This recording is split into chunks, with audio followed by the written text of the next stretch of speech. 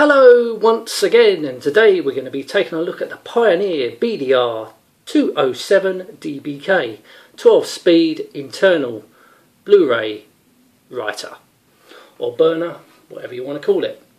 Um, yeah this is quite a good um, product.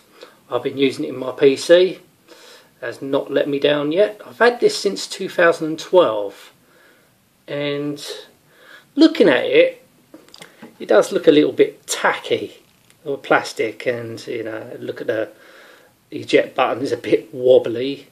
So the build quality isn't too good but it is a reliable drive. I've had no problems with it.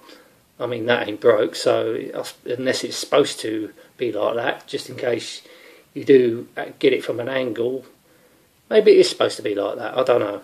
But feels pretty good that, well, you don't know, don't, but it feels like it's going to break. But perhaps it's, as I said, it's supposed to be like that, most to wobble. Um, you get an angle, you can click it in. Anyway, but does look a bit tacky to look at um, compared to the LG that I reviewed just before this, the, um, the LG burner that I got, which is in a different computer. But yeah, looking at that LED, I think it's on, but it's not, of course, because it's not wired into anything. It's quite bright, that. So, yeah. So we'll take a look around it. Can't remember if it comes with screws or not, but I'm not worried about screws because the case it's in is toolless anyway. So it's SATA, which they all are now. And yeah, not much to look at there, but it's standard. And there you are.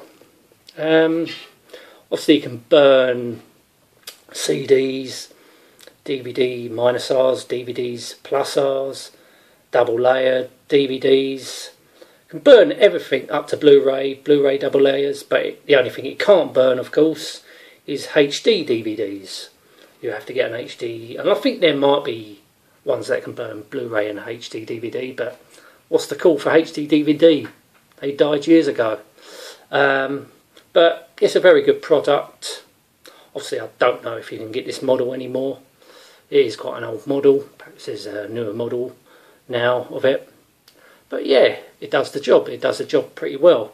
I know it's only a 12 speed, but perhaps there's newer ones that can go faster than that now. Anyway, so there it is installed in the PC. As you can see up the top, it's got an Asus um, DVD writer because I tend to burn DVDs more, so I want to take it out on the Blu-ray writer if I can. Um, so let's just put a disc in it so you can see what I mean about the LED. It's not that bright on camera because the light's on it. But yeah, very good um, Blu-ray writer. As I said, it can do DVDs, CDs, whatever. Anyway, thank you so much for watching. Till next time, and goodbye.